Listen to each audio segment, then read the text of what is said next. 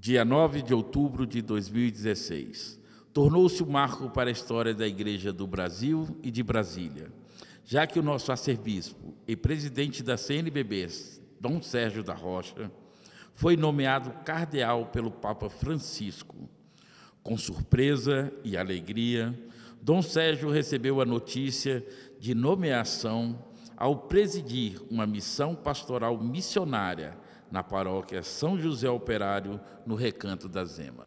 Dom Sérgio, Dom Sérgio da Rocha, cardeal, nomeado hoje, ou anunciado hoje pelo Papa logo cedo.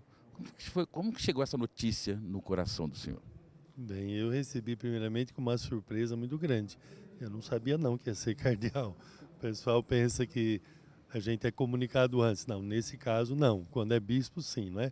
Para ser nomeado bispo, primeiro se consulta. Agora, o Papa Francisco tem tido esse costume muito bonito até de fazer as nomeações e anunciar, e depois a gente fica sabendo, depois recebe a notícia. Eu recebi através aqui do pessoal do Recanto das Emas, que eu estou aqui em visita pastoral missionária, tinha uma missa logo cedo e visita também as famílias daqui, e com isso eu fui é, agraciado, não esperava, é, com esse dom de Deus, mas ao mesmo tempo com essa responsabilidade.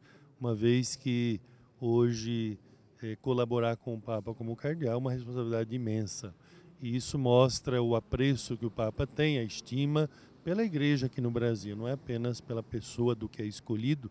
Eu agradeço a bondade dele para comigo, mas com certeza nesse gesto do Papa está também a valorização da igreja aqui no Brasil, é, do Episcopado Brasileiro, né, da própria CNBB, da nossa Arquidiocese de Brasília.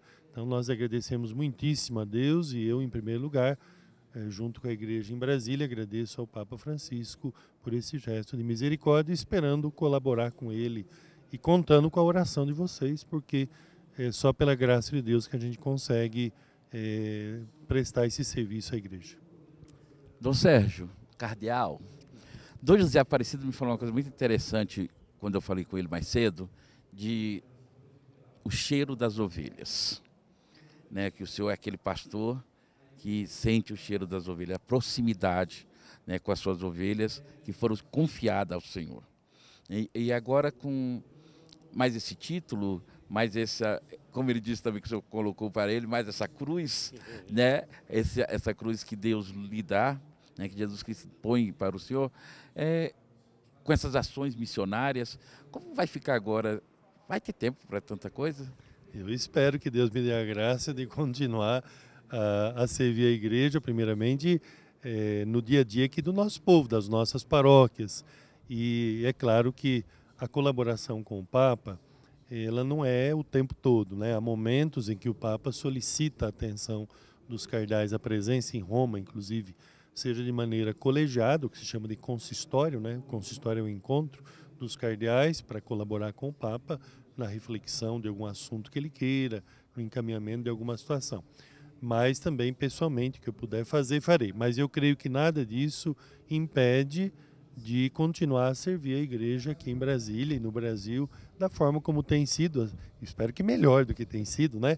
Eu gostaria de ser ainda mais missionário, de estar ainda mais visitando as paróquias, as comunidades, as famílias, que as situações de sofrimento são muitas. Mas é claro que nós também temos que dar atenção para os outros ambientes aqui de Brasília, não é apenas é, quem está em área mais carente, esses são os primeiros que precisam é, da presença da igreja, da presença e do apoio do bispo.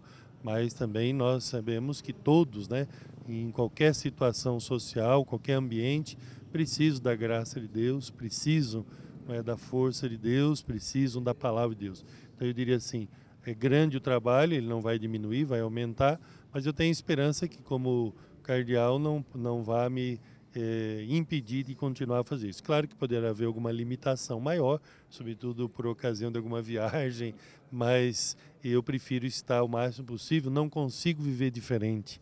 É, Para mim é uma questão espiritual e até psicológica, porque não conseguiria ficar é, longe né, da, das nossas comunidades, do nosso povo, das nossas famílias, embora tenha muitos momentos que eu tenha que lidar com papéis, com escritório, mas espero que quando lidar com papel seja em favor do povo, né? seja pela própria igreja. Terminando, Dom Sérgio, a, a visão do Papa, é, pelo menos na minha humilde visão, é a, ele ama a simplicidade. E escolhe um cardeal que também é simples, humilde, um cardeal, Dom Sérgio, que tem um coração muito grande com a nossa igreja e vou falar até mais, um coração muito grande com nós, renascidos em Pentecostes. Né? E essa é realmente essa visão do nosso Papa de olhar aos padres na sua simplicidade para elevar também a um título, a um cargo maior dentro da igreja. É aquilo que o Papa Francisco tem pedido da igreja, é aquilo que Jesus pediu, na verdade, né? É, claro que nas condições de hoje, o Papa então ressalta dentro do mundo que nós estamos hoje, da igreja no mundo de hoje, mais a simplicidade, a misericórdia, é, é, esta presença no meio dos que mais sofrem, tudo isso Jesus fez, Jesus pediu que os seus discípulos fizessem, que a igreja faça. Então, para nós é muito importante dar sequência realmente àquilo que é, é que deveria ser sempre a vida da igreja, não só agora, mas que sempre deveria acontecer, não é?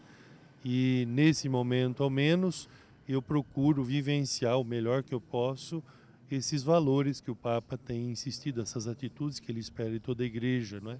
A humildade, a simplicidade, a misericórdia, o serviço aos irmãos. Eu tenho esperança de, como cardeal, é, encontrar a força de Deus, a graça de Deus, mas também o apoio das pessoas para continuar sempre e cada vez mais a servir, a ter um coração de servidor. Um cardeal, na verdade, é um servidor, é um irmão, entre outros, na igreja. Amém. Uma benção. Então, que Deus continue a derramar suas bênçãos sobre todos vocês, irmãos e irmãs. Peço a oração de vocês, peço que rezem por mim, agora com a cruz ainda maior. Peço então que a oração seja ainda maior para poder cumprir de maneira fiel e generosa, graça com a graça de Deus, a minha missão mas que Deus abençoe a todos vocês, que derrame sua sabedoria, sua graça, sua, força, para que cada um possa cumprir de maneira fiel, generosa, feliz a missão de cristão. Que Deus vos abençoe, vos guarde, vos ilumine, proteja, vos fortaleça hoje e sempre, em nome do Pai, do Filho, do Espírito Santo. Amém. Amém.